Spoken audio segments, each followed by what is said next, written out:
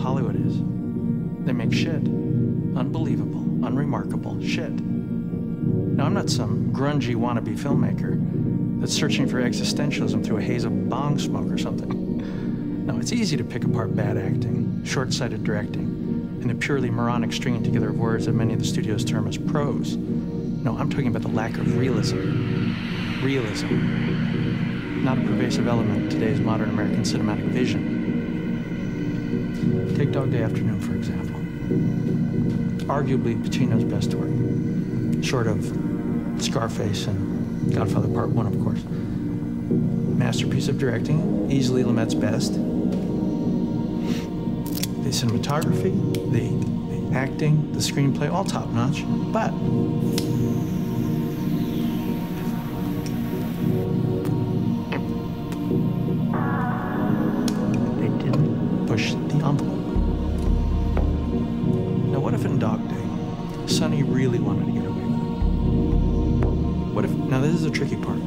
started killing hostages right away? No mercy, no quarter. Meet our demands are the pretty blonde and the bell bottoms gets it in the back of the head. Bam, splat. What, still no bus? Come on. How many innocent victims splattered across a window would it take to have the city reverse its policy on hostage situations? And this is 1976. There's no CNN. There's no CNBC. There's no, there's no internet. Fast forward to today, present time, same situation. How quickly would the modern media make a frenzy over the city? And in a matter of hours, it would be the, the biggest story from Boston to Budapest. 10 hostages died. 20, 30. Relentless, bam, bam, one after another. All caught in high def, computer enhanced, color corrected. Directly taste the brain matter. All for what? A bus, a plane? A couple of million dollars that's federally insured?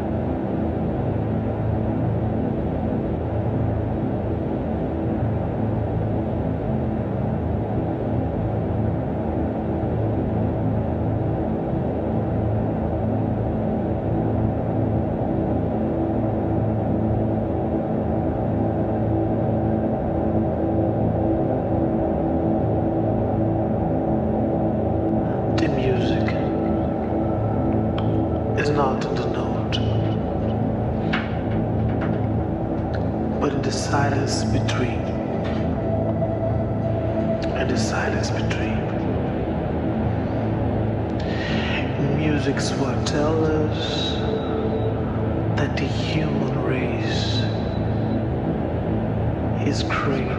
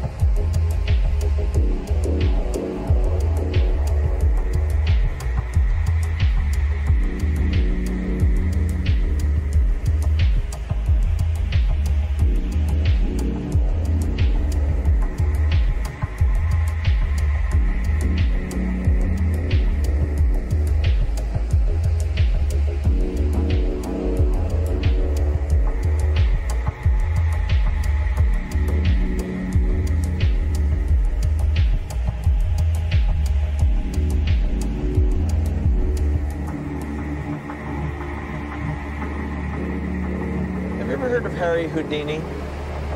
What? Well, he wasn't like today's magicians who are only interested in television ratings.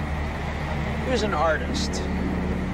He could make an elephant disappear in the middle of a theater filled with people. And do you know how he did that?